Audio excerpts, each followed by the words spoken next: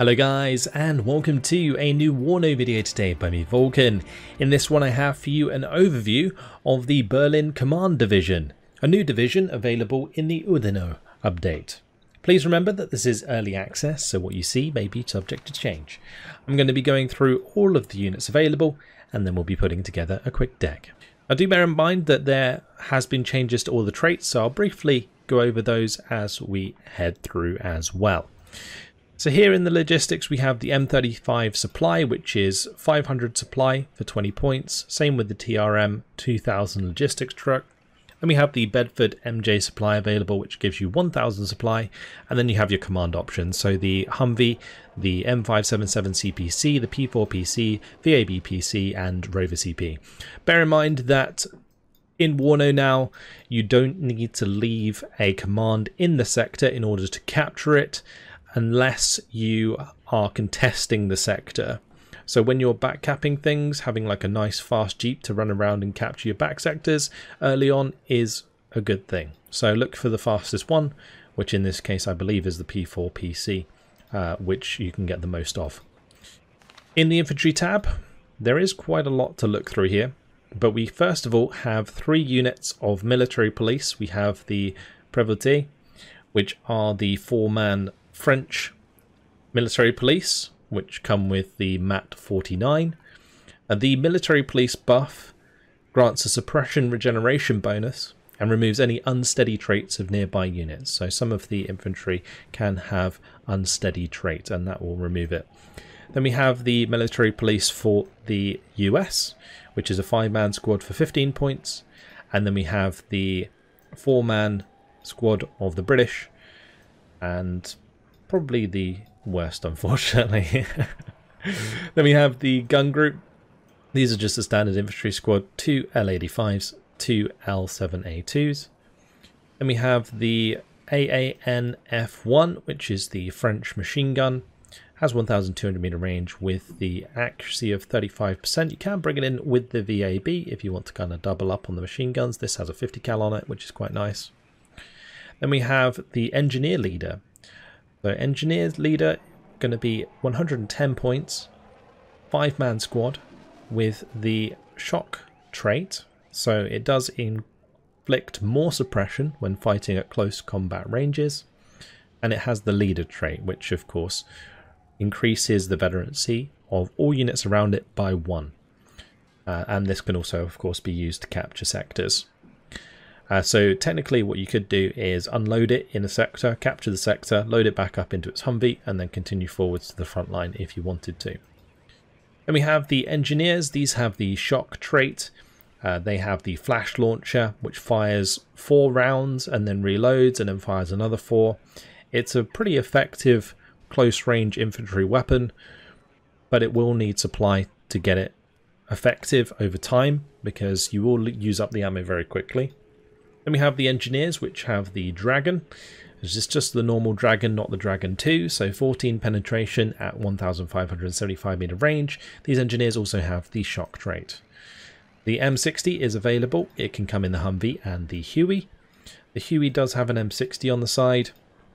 So you can have an M60 with an extra M60, technically. Not that you'd probably want to use the Huey in frontline combat unless you absolutely knew for sure that there wasn't any AA around. Better option though, the 50 cal. The 50 cal is fantastic in Warno, 1400 meter range with the 30% accuracy. This thing can pin very quickly and do a lot of damage. Then there's the MAG, which is the British option for machine guns, but back to 1200 meter range for that. Then we have the Polizei Reserve for the Germans. These are res reservists, so they take more suppression in combat Technically, this is an unsteady trait, so this is removed by your military police if you have them nearby. And they also have the security trait. Security trait increases their optics and identification levels to good when not moving, similar to recon units, although they remain an infantry squad. So they go up from normal optics to good optics when they are stationary. That's basically what that means. Then there is the L6 Wombat. This is an AT option. Good old recoilless rifle with 15 penetration at 1,400 meter range. Then you have the Milan, which has 17 penetration at 2,450 meter range, but we'll need to keep its track. Then we have the British Rifle Leader, which is a six-man squad with five L85s, an L7A2 and an M72 Law for 125 points. You have the standard rifle squad that does come with the Law 80. The Law 80 is a very good AT weapon, so definitely worth some uh, looking at. And then you have the RAF rifles, which are the reservist troops of the British here, and they also have the security trait. So if you use these with a military police unit, you can actually get quite a lot of value here because you remove that reservist trait basically, and you have quite a lot of guns on target for close range engagements versus infantry, but bear in mind you don't have AT. Then there is the Rover Wombat Jeep available, 15 AP again, uh, with the 1,400 meter range, but on a Jeep instead of as an infantry squad. Then we have the British Assault Pioneer Leader. These are shock troops, so 6 L2A3 submachine guns. Pretty nice squad, honestly, for as a leader. And then we have the Terriers Pioneer, which are a shock once again, with 8 L1A1s and the L4A4 with satchel charges. So pretty decent close range infantry squad because the shock trait does inflict more suppression when fighting at close combat ranges and generally you'll be running to get in range of the satchel. Then we have the Grenadier Voltigeurs for the French. These are the leaders here. Uh, in my opinion, like having a shock leader is probably better because you're probably going to keep it on return fire for the most part and only when units are close are you going to really open up on them. So shock trait is fantastic for these leaders whereas just a standard leader there not as great. But the grenadier voltigeurs are actually really nice these squads themselves because of the lrac f1 they do have like the standard FAMAS uh, aa nf1 but the LRAC, with its 850 meter range and 50% accuracy, is really good for taking out APCs. Then we have the Sapper Leader, which comes with that nice shock trait. A little bit more expensive because it has more men, so 8 strength instead of 6 strength. And yeah, with the shock trait there, that's actually not a bad combination. We also have the Sappers with the flamethrowers, which also have shock trait. They use submachine guns, the MAT 49 and the AANF1 with the flamer there, which is really good. Then we have the light rifle leader, which is the American infantry leader. They have five M16s, the M249 and the M72 Law. The M72 Law, like the penetration sucks, but the rate of fire is really good. They also come with the M113A3 and the M113A3 Dragon, uh, which potentially have good application against infantry when you're engaging in like urban environments and the enemy doesn't really have any reliable way to kill them. And then we have the Berlin light rifles, which are a 10-man infantry squad that come with the M67 recoilless with the 1,400 meter range. So an interesting squad to be sure, but don't have any traits that make them any better. And then we have the Milan 2. The Milan 2 being a very, very strong AT unit with the 24 penetration. You can also bring them in with the VAB and the VAB Milan, which comes with its own Milan 1 with the 17 penetration and 2,450 meter range. And that's the infantry tab. Then we have the artillery tab. 81mm mortars are available for the British. We also have French 120mm mortars. There is the VAB that carries an 82mm mortar. We have the M2A, uh, M125 mortar, sorry, which has 81mm mortars inside, and the MO, M106A2 mortar, which has the 107mm inside. Then there's the option of the M198 155mm artillery, which does come with the nice 4.19 damage but better than that, we have the M109A2s, which are much more reliable because they are armoured vehicles and they are very mobile. So you can fire off a volley with these and then you can move straight afterwards or salvo. So my recommendations here would be focusing on the M109s and maybe bring in some mobile mortars of some sort. In the tank tab, we have the Rarden, the FV432 Rarden. This comes with the 30mm Rarden cannon. It has limited armor, but decent infantry support potentially. Then there's the P4 Milan, which comes with the Milan 2. Good for just keeping hidden in tree lines uh, in order to snipe enemy tanks at range. We also have the Rover Milan, which is basically the same thing. It just whether or not you want to have a British vehicle or a French vehicle. Technically, the French vehicle is better because it has a little bit more off-road speed. Then we have the AMX 1390. This has an autoloader, so it doesn't suffer from lower rate of fire when it's suppressed, which is pretty useful in certain situations, but yeah, limited penetration, so you're only really going to be taking out enemy light armored units or side-shotting enemy tanks. I feel like they're quite expensive for the uh, power that they have. But the AMX-30B is a solid option. You can get it as a command variant. You can also get the standard variant, which is 85 points. Really, really nice infantry support tank because it not only has its main gun, it has a 20mm autocannon as well as its machine gun. So a nice solid option to support your infantry and if anything gets in line of sight that's armor, 15 penetration at closer ranges is actually pretty good. Uh, Humvee TOW 2, of course, a very, very solid option with the uh, good stealth. And then you have the M901A3, the ITV, which is not as good because it has mediocre stealth. It does come with more TOW 2 missiles though. Then there's the M728CEV, really good infantry support tank for taking out enemy infantry because of its 3.2 HE on its main gun as well as its double machine guns, but will suffer against enemy uh, tanks and so on. Then we have the Chieftain Mark 10, both the command variant and the standard variant.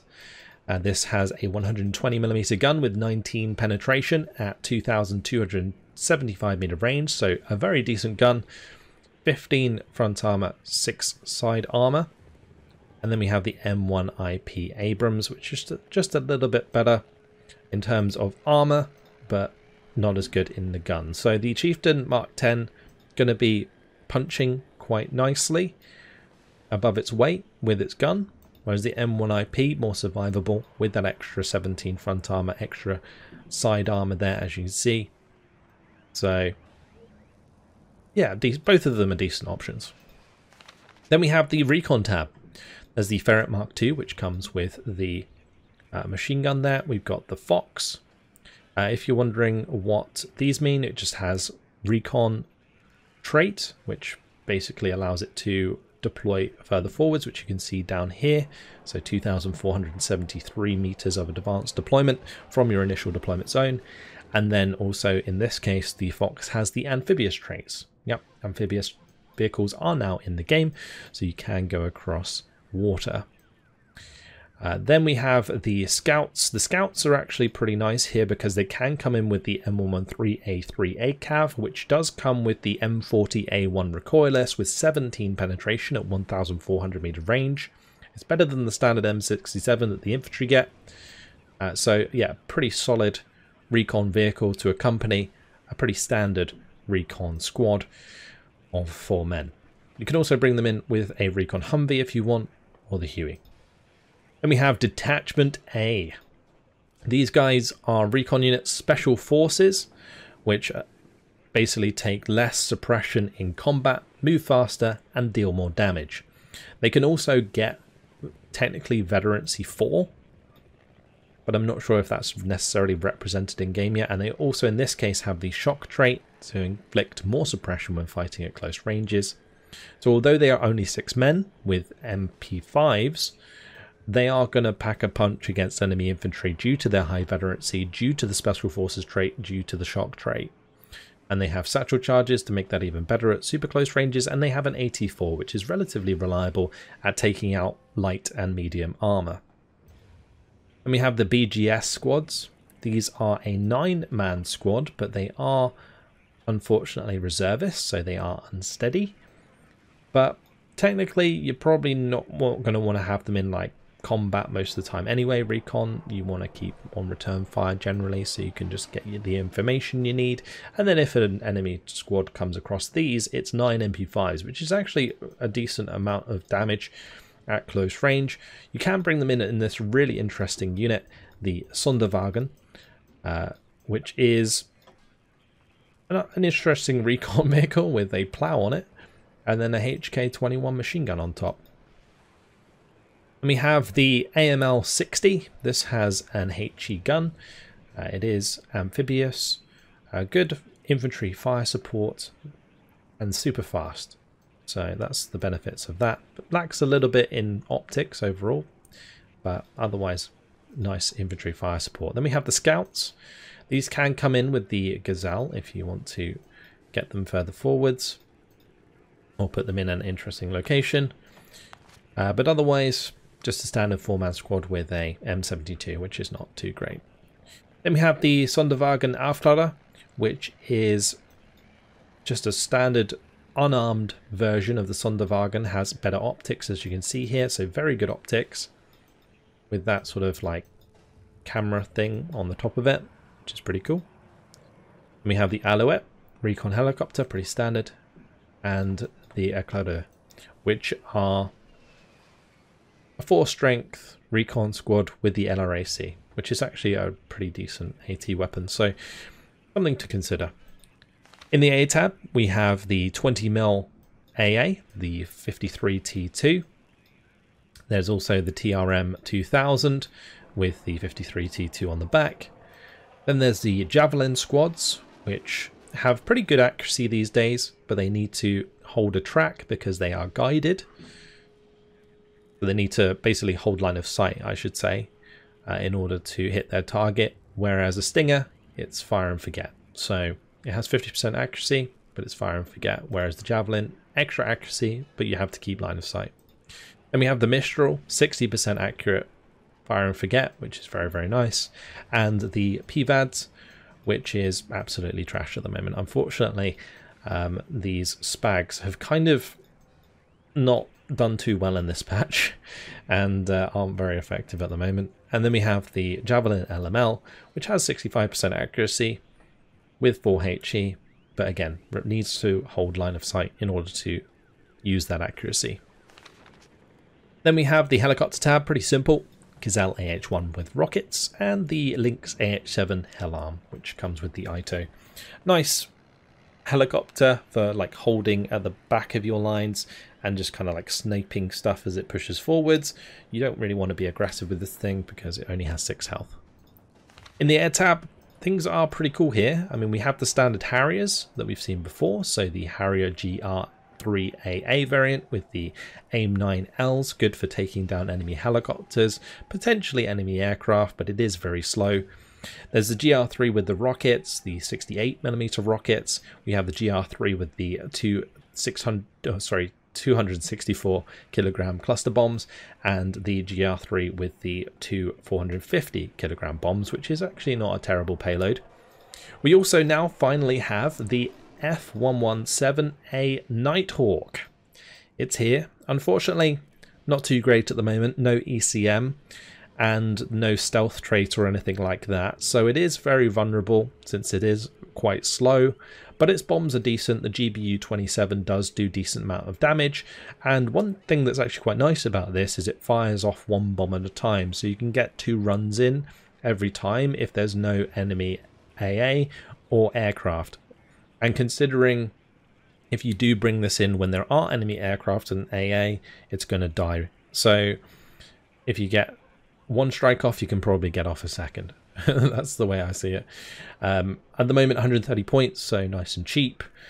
Uh, I would say it's worth bringing at the moment. Uh, and I think at some point it's going to get buffed, it's going to get the stealth trait, or it's just going to get crazy ECM, one of the two. And we have the Mirage 4. Look at this beast. This thing has two anti-radar missiles with the 47% accuracy, 28 penetration. This is just going to blast enemy radar AA which is nice. And it also comes with six 400 kilogram bombs. And then we have the Mirage 4 with 16 400 kilogram bombs. Beware, this bombing pattern is very long. So do not bring it in from your base and do a straight line towards the enemy. You want to go off to the left and pitch into the right and do it like across the enemy rather than like straight at the enemy because otherwise you're going to end up friendly firing. I learned this the hard way. it's a lot of bombs. It's a lot of bombs. 40% ECM on both of these Mirage 4s is very, very nice. And that is your lot for the units. So let's put together a quick deck.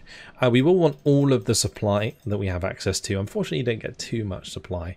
And I'm also going to throw in the P4 PC, which is going to be like my back capping command. Then we have infantry. I am going to throw in the Prévôté because they are a 10 point infantry squad which have the military police trait. Now the military police trait doesn't just affect units that are unsteady. It also affects every other unit around it.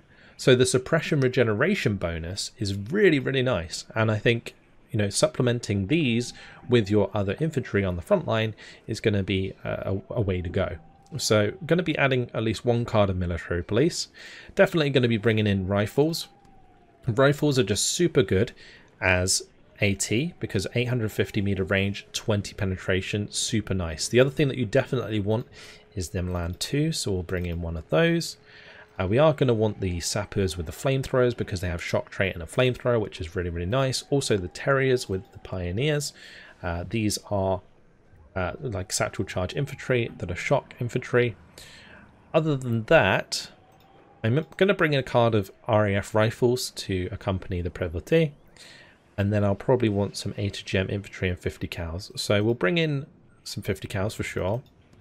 And then I'm thinking a card of engineers with dragons so that we can harass things at range. Like the dra normal dragon isn't that good, but having 1,575 meter range on a infantry squad with 10 men is not too bad. So we'll leave that tab for now.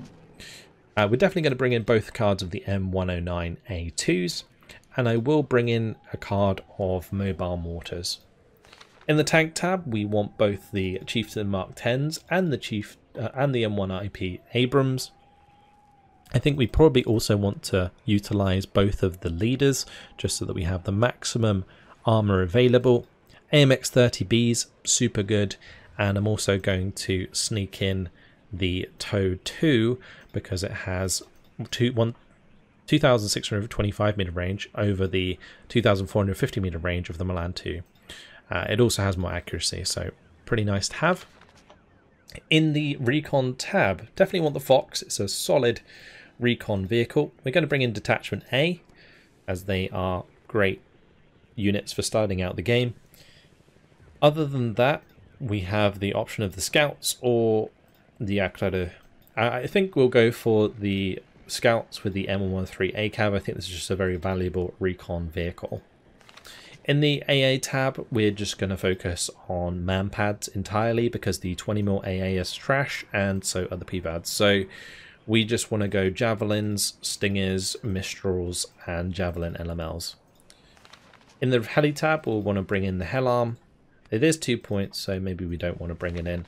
And then in the Air tab, we definitely want to bring in the Seed. We want to bring in the Mirage 4. I am going to bring in the Harrier GR3 as AA, and we'll bring in a Nighthawk, which leaves us with three points that I think I will either put into the infantry tab or we could put into the tank tab mess around with the AMX 1390s although they aren't particularly great because they're a little bit overpriced in my opinion the other option would be to bring in some extra recon that I could use early on like these would be good to deploy at the start of the game because they do have a decent launcher. So that is tempting. The other thing is just make maybe more rifles to make use of the uh, Law 80 or even we could bring in like the Wombat for example to provide recoilless rifle support.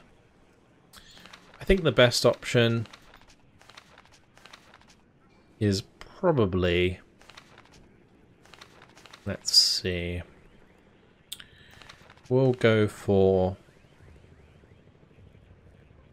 an extra infantry squad. And what I'm going to do is I'm actually going to bring in two upvetted rifles there. I think that's what we'll do. Cool. So let's name that Berlin Command. I think I already have a deck, so I will just name it Berlin Command 1 so I don't get confused, so we can have a look at its overview. And there you have it. That's what we just built. I think it's a little bit different from what I had before, from when I was trying it. Uh, but I think this is more well-rounded and utilizes a lot of the better units.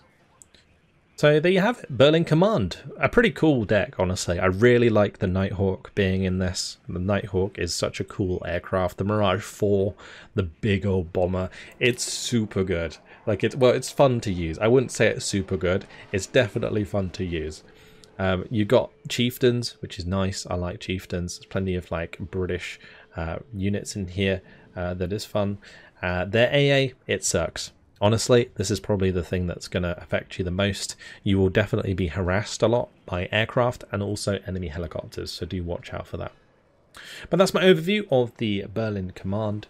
Uh, let me know what you think of the division in the comments. But that is it for now. Hopefully you guys have enjoyed the video. Thank you very much for watching, and I'll see you in the next one. Goodbye.